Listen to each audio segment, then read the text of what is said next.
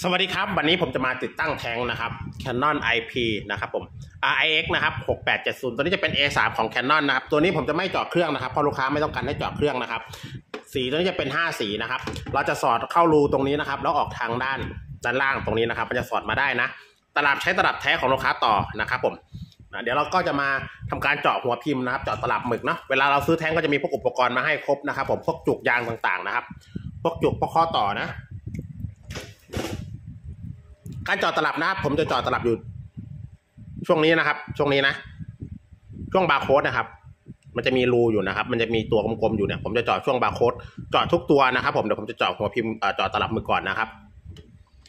มันมีตลับจีนนะครับ ที่ไม่ต้องจาะนะครับ เราสามารถใช้ตลับจีนก็ได้นะครับ แต่ตรงนี้คือผมจะใช้ตลับแท้เลยนะครับ นี่นะครับ เวลาผมเจาะนะครับ ผม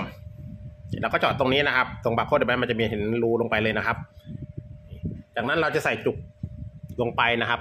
การใส่จุกยางเนี่ยผมจะยิงกาวร้อนแปะทีนึงนะครับ เพื่อที่จะไม่ให้อากาศมันเข้านะ เพราะว่าถ้าอากาศมันเข้าในตัวตลับนี้ได้นะครับหมึกมันก็จะวิ่งย้อนนะครับ ผม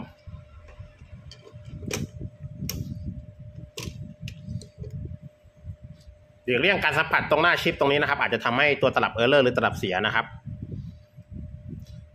ตัวสว่านประมาณสองมิลนะครับ ผม ผมจะยิงกาวร้อนนะครับ ติดอีกรอบหนึ่งนะ อันนี้เดี๋ยวใส่เข้าไปก่อนนะครับ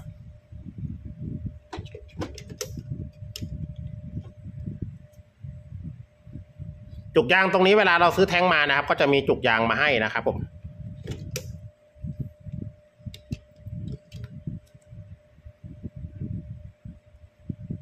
นี่นะครับเดี๋ยวผมจะยิงกาวร้อนแปะอีกรอบหนึ่งนะครับ นี่นะครับหลังจากที่เราต่อแท้งแล้วใช่ไหมครับผม ตรงนี้นะครับ เดี๋ยวผมจะให้ดูนะครับ เติมหมึกนะครับ ผมเวลาเราเติมนะครับ เราจะเติมแค่ฝั่งเดียวคือฝั่งใหญ่นะครับ ฝั่งนี้ไม่ให้มีหมึกนะครับ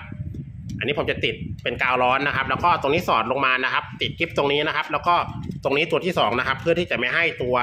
สายมันติดนะครับ ผมส่วนการใส่ข้อต่อตรงนี้ผมจะยิงกาวร้อนปิดไว้นะเพื่อที่จะไม่ให้อ่าตัวน้ำหมึกมันวิ่งย้อนนะครับเพราะตลับแท้เนี่ยบางบางทีเราจาะเนี่ยมันจะ ทำให้อากาศมันวิ่งย้อนนะครับ ผมเดี๋ยวมาดูกันนะครับ ว่าผมจาะยังไงนะครับ เห็นไหมครับพอผมจาะเนี่ยผมจะยิงกาวร้อนติดนะครับ ผม ติดพวกนี้นะครับเนี่ยติดพวกนี้ครับ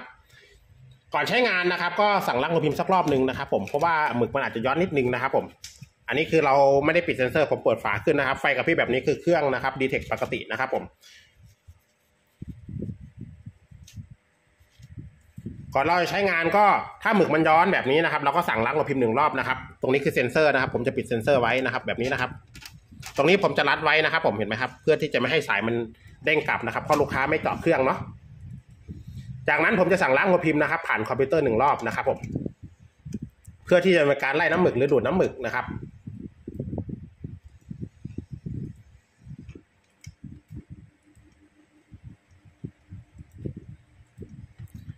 สั่งคีนนิ่งผ่านคอมนะครับผม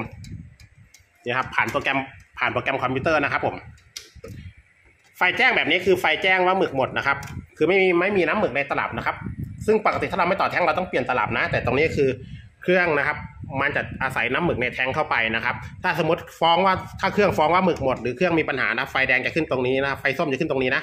ให้เรากดแช่ไว้5วิแล้วปล่อยนะครับ เครื่องก็จะใช้งานได้ปกตินะครับผม ขั้นตอนนี้เครื่องจะทำการล้างหัวพิมพ์หรือคลีนนิ่งหัวพิมพ์นะครับ เวลาใช้งานให้เปิดจุกเล็กขึ้นนะครับ แบบนี้ ไม่เปิดจุกปินไม่ออกนะครับ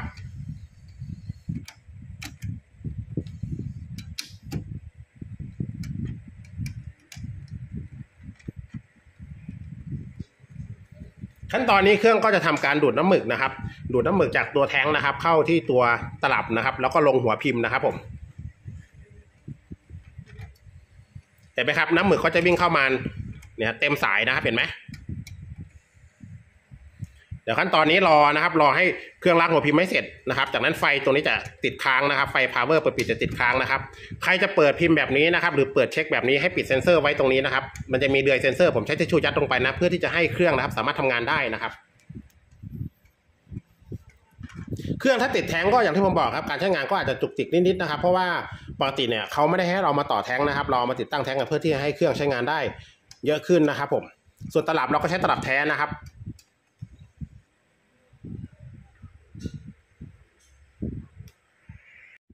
หลังจากที่เครื่องล้างหัวพิมพ์เสร็จแล้วเดี๋ยวผมจะปริ้นเทสให้ดูนะครับผม สังเกตหมึกในสายนะครับนี่ครับวิ่งเข้าเต็มสายเลยนะ ตอนนี้หมึกในตลับนี่คือใช้หมึกในแท้งแล้วนะครับเพราะหมึกในตลับไม่มีแล้วนะครับ สีออกมานะครับใช้งานได้ร้อยเปอร์เซ็นต์นะครับ ผมนี้นะครับ เดี๋ยวผมจะลองปริ้นรูปดูนะครับ นี่เราก็ลองปริ้นรูปภาพดูนะครับ